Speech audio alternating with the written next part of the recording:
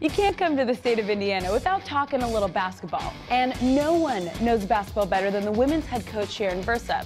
Let's chat with the Indiana Basketball Hall of Famer. So, Coach, as a player here at Purdue, you led your team to three consecutive winning seasons. What's it like now to be back at your alma mater as head coach?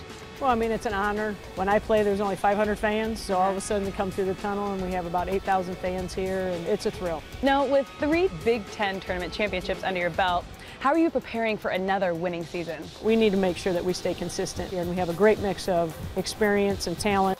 Now, football's kicking off uh, Big Ten Conference play this weekend. Yeah. Are you going to be watching the game? Absolutely. Football here is exciting time for all of us, and the fan support's are going to really help us get into this Big Ten season, and uh, we're really looking for a great year this year. Well, thank you very much and good luck this season. Thank you.